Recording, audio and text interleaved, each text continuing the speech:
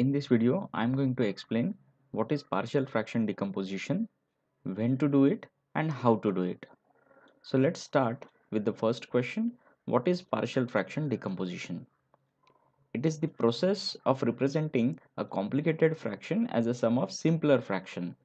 For example, when we use partial fraction decomposition on this fraction 6x minus 2 upon x square plus x minus 6, it can be written as 4 upon x plus 3 plus 2 upon x minus 2. You can see that these two fractions are much more simpler than the previous fraction 6x minus 2 upon x square plus x minus 6. Understand when partial fraction decomposition is possible. For that, consider the fraction p of x upon q of x where both p of x and q of x are polynomials. We say partial fraction decomposition is possible only if degree of the numerator is less than the degree of the denominator. In this case, if degree of p of x is less than degree of q of x, then partial fraction decomposition is possible here. Now once the criteria is fulfilled, we will see how to do this decomposition. Very first of all, we will factorize the denominator as completely as possible and after that we use the following table for each factor in the denominator to determine the terms in the partial fraction decomposition. Look at this table. The first column entries represents the possible factors in the denominator and the second column entries represents the corresponding entries or terms in the partial fraction decomposition. For example, if the factor in the denominator is like ax plus b, then this term we will add in the partial fraction decomposition a upon ax plus b, where this capital A is a constant term which is to be determined.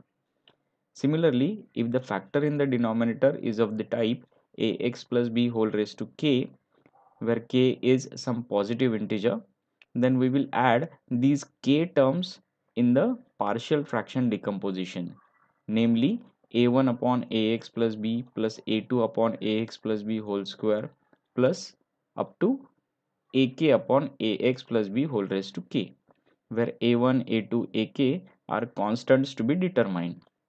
Similarly for factors like ax square plus bx plus c and ax square plus bx plus c whole raised to k these two terms can be added in the partial fraction decomposition.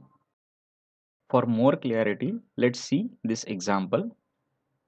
Over here we have to find the partial fraction decomposition of 7x minus 4 upon x square minus 2x minus 8 very first of all we will check the criteria whether it is possible to find partial fraction decomposition for this fraction. Over here in the numerator degree of this polynomial is 1 and in the denominator degree of the polynomial is 2. So degree of the numerator is less than the degree of the denominator. Therefore partial fraction decomposition is possible. Now we proceed by factorization of the denominator Denominator is x square minus 2x minus 8. It can be factorized into x plus 2 into x minus 4. Further factorization is not possible. Now we use the table which I showed in the previous slide to write the terms in the partial fraction decomposition. 7x minus 4 upon x plus 2 upon x minus 4 is the now new fraction over here denominator terms are of the type ax plus b. Both the terms x plus 2 and x minus 4 are of the type ax plus b. Therefore, we will add a upon the same factor plus b upon x minus 4 in the partial fraction decomposition a upon x plus 2 for this factor and b upon x minus 4 for this factor. Now after cross multiplication on the right hand side, we will have the numerator a into x minus 4 plus b into x plus 2 and denominator will be x plus 2 into x minus 4. After comparing both the sides, we can write 7x minus 4 is equal to a into x minus 4 plus b into x plus 2. Now we open the brackets on the right hand side then we will have 7x minus 4 is equal to ax minus 4a plus bx plus 2b. Now comparing both the sides for x terms and constant terms we have 7x on the left hand side is equal to ax plus bx later on cancelling x on both the side we will have a plus b is equal to 7 and comparing constant terms in this equation on both the sides we have minus 4 is equal to minus 4a plus 2b these are non-x terms. So we have now two equations in a and b. We can solve them simultaneously for the values of a and b. You can use calculator for this as well.